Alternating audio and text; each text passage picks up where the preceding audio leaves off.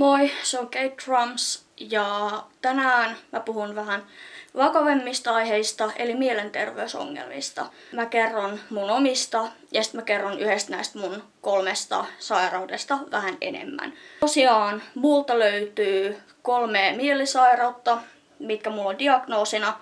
Eli F32.2 eli vaikea-asteinen masennustila, F40.1 sosiaalisten tilanteiden pelko ja F60.31 tunneelämän epävakaa persoonallisuushäiriö. Ja tosiaan mä ajattelin tänään kertoa tästä epävakaasta vähän enemmän, mun omia kokemuksia ja sitten niin kuin, mitä nyt niin kuin netistä löytyy. Tosiaan ää, mä sain epävakaan diagnoosin 2018 ja se meni siis silleen, että mä menin mun terapeutille – ja hän sitten sanoi, että mun lääkäri on antanut mulle uuden diagnoosin ja hän sitten kertoi, että se on epävakaa persoonallisuushäiriö. Ja siinä vaiheessa mä en tiennyt epävakaasta mitään, mä en ikinä niinku kuullutkaan siitä. Ja sitten mä kysyin, että onko sillä mitään nimiä, niin englanniksi se on Borderline Personality Disorder tai PPD tai EUPD.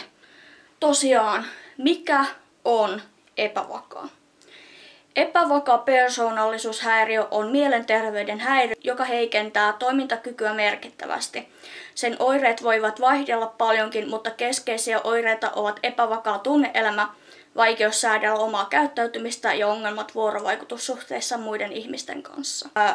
Siihen voi liittyä myös seuraavia piirteitä. Voi liittyä herkkyys tunneärsykkeille, voimakas tunnereaktio, tunnereaktion jälkeisen palautumisen hitaus, ailahteleva käsitys omasta itsestään, nopea mielialojen vaihtelu, vaikeus toimia pitkäjänteisesti ja pitää sovitusta kiinni. Sitten mä oon tänne listannut, että mitä kaikkea epävakauteen kuuluu.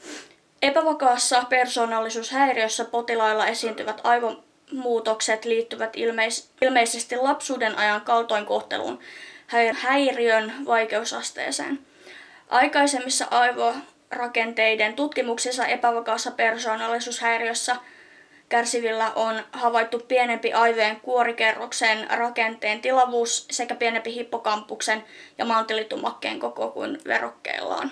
Tosiaan meiltä löytyy täältä pääkopasta semmonen kuin mantelitumake, eli siis omyktola, ja se, öö, mitä se tekee aivoissa, on tunteiden säätely ja niin kuin reak- reagoiminen. Ja tosiaan epävakailla ihmisillä tämä mantelitumake on surkastunut tai siis hyvin pienikokoinen ja se ei tule kasvaa siihen kokoon, mitä sen pitäisi. Mikä tarkoittaa sitä, että epävakaat ihmiset saattaa esimerkiksi reagoida asioihin vähän lapsellisesti, koska meidän mantelitumake on semmoisen pienen lapsen viivatteini ikäisen ihmisen niin kuin tasolla. Ja kuten mä sanoin, niin tämä mantelitumake ei tule koskaan kasvamaan siihen kokoon, mm, mitä sen pitäisi kasvaa, mitä aikuisella pitäisi olla. Ja tämä on yksi syy, minkä takia epävakaa persoonallisuushäiriö on parantumaton sairaus. Koska se mantelitumake, kun ei kasva koskaan, niin se, sitä ei voi parantaa millään tasolla. Ei ole mitään lääkkeitä, mitkä vaikuttaa niin kuin siihen kasvuun, sitä ei saa kasvamaan enää niin kuin oikeaan kokoon, että se on surkastunut ja se jää siihen kokoon, mitä se on. Vaikka tosiaan tämä mygdala ei koskaan kasva siihen kokoon, mitä sen tarvitsisi kasvaa, ja vaikka epävakaa persoonallisuushäiriö on parantumaton sairaus, mitä vanhemmaksi tuut, sitä helpompi sun on reagoida asioihin, että se niin kun, tämä reagoimiskyky parantuu niin kun, vähitellen, mitä vanhemmaksi tuut, niin sitä helpommaksi sun elämä tulee. Et vaikka se on koko iän sairaus, niin sä pystyt oppi elää sen kanssa. Ää, perinnölliset tekijät altistavat epävakaan persoonallisuuden synnylle. Myös lapsuuden traumakokemukset ja huono sosioekonominen asema ovat riskitekijöitä. Psykoosilääkkeet saattavat lievittää useamman ulottuvuuden oireita. Eli siis epävakaaseen ei ole lääkkeitä, mutta jos sulta esimerkiksi löytyy muita mielenterveysongelmia, kuten esimerkiksi masennus, niin sä voit yrittää masennuslääkkeillä saada sen toimimaan silleen, että se vaikuttaa myös epävakaaseen. Ja mulla itellä on, mä oon nyt vuoden syönyt yhtä lääkettä, öö, semmonen kuin Rxulti, ja se on toiminut mulla mun masennukseen. Ja se on myös helpottanut mun ää, epävakaata, mun reagoimista asioihin vähän eri tavalla, koska mä olen ennen reagoinut aika vahvasti. Jos tulee jotain huonoja asioita vastaan, niin se on välillä mennyt siihen pisteeseen, että mä satutan itteeni. Tai sitten jos on niin kun jotain hyvää, niin sitten niin lentelee jossain tuolla pilvissä vaaleanpunaiset lasit silmillä, kaikki on ihanaa. Mielialaa tasaavista lääkkeistä voi olla hyötyä impulsiivisuuden ja aggressiivisuuden vähentämisessä. Serotoniinin ta- takaisinoton esteistä voi olla hyötyä etenkin monihäiriöiden hoidossa. Tosiaan, vaikka epävakaa persoonallisuushäiriö on parantumaton sairaus, niin siihen on hoitomuotoja, niin kuin esimerkiksi nuo lääkkeet. Epävakaaseen ei siis ole niin kuin itsessään lääkettä, mutta masennuksen ja ahdistuksen on, ja se voi helpottaa myös epävakaat persoonallisuushäiriö. Ja sitten löytyy myös DKT-ryhmiä, taitoja, kaikkea tällaista, mitä suositellaan varsinkin epävakaille ihmisille, että käytetään DKT-taitoja ja käydään DKT-ryhmissä. Sitten epävakaasta löytyy myös semmoinen asia kuin mustavalkoinen ajattelu. Ja kun ihmiset normaalisti ajattelee, niin se on tämmöinen sateenkaaren kirjo, että niin kun on erilaisia tapoja reagoida ja kaikkea tällaista ajattelutapaa. Mutta epävakaalla on vain joko musta ajattelutapa tai valkoinen ajattelutapa. Eli kaikki tai ei mitään.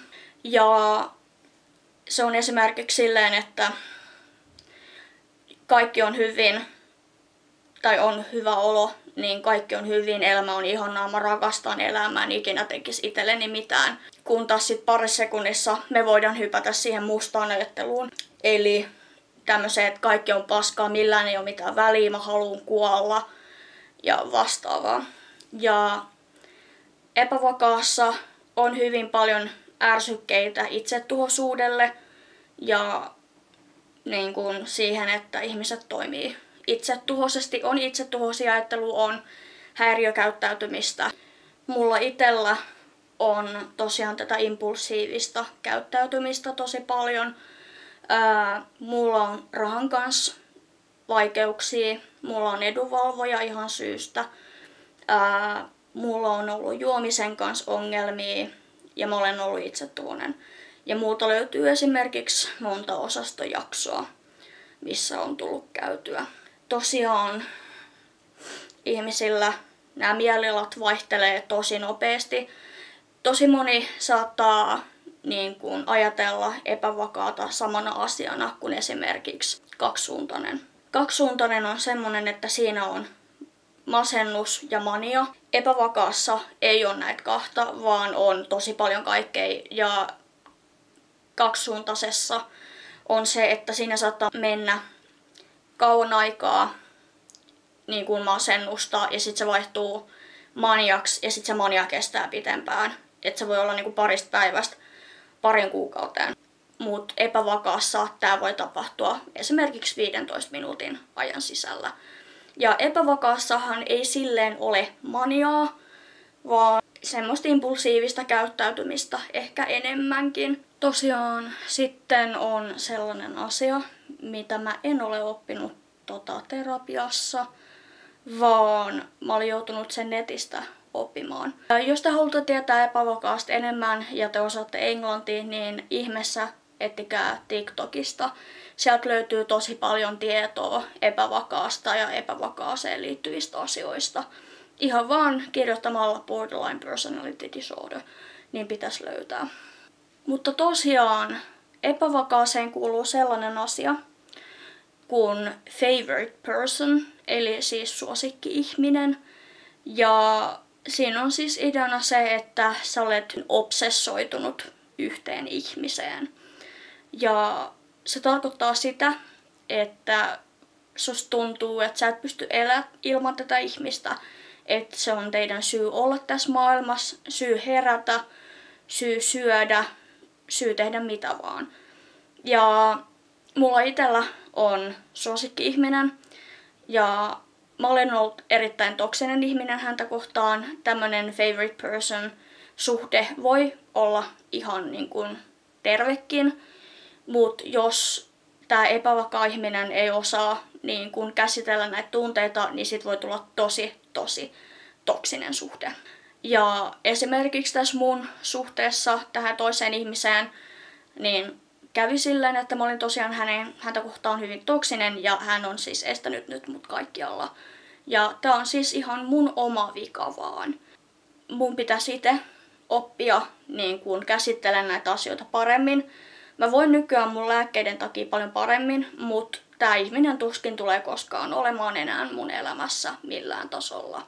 Tämä suhde voi olla ihan kenen tahansa kanssa, vaikka opettaja, vanhempi, ystävä tai jopa seurustelukumppani. Se voi olla ihan kuka vaan ja se yleensä alkaa siitä, että tämä kyseinen ihminen antaa sulle huomioon, mistä sä pidät ja sitten sä saat tämän suhteen, tämän FP-suhteen tähän ihmiseen ja sitten tuntuu, että sä et voikaan elää ilman tätä ihmistä. Ja joillain ihmisillä saattaa esimerkiksi olla kateutta sitä ihmistä kohtaan, että hän niin kuin tekee asioita ilman sua. Ja tämä suhde voi lähteä käsistä ihan kokonaan, että sä tarvit tämän ihmisen huomiota 247, niin kuin mun omalla kohdalla kävi. Sitten tähän suhteeseen voi kuulua semmoinen asia kuin splitting. Eli siis tämmöinen niin kuin splitting, jossa ajattelu on mustavalkoista ja suhteen toinen osapuoli on vaihtelevasti jo idealisoinnin tai demonisoinnin kohteena. Suhteiden epävakaaseen dynamiikkaan sisältyy siten jatkuva rakastan sinua, vihaan sinua. Tule tänne, häijyt täältä, tyyppinen emotionaalinen luontain työntäminen ja takaisin vetäminen. Ja mulla itellä oli tätä tosi paljon, että mä työnsin tätä ihmistä pois. Mutta sitten samaan aikaan mä vedin häntä niin takaisin, että älä lähde, mä tarvin sun huomioon, mä tarvin sun tukea, mä tarvin kaikkea.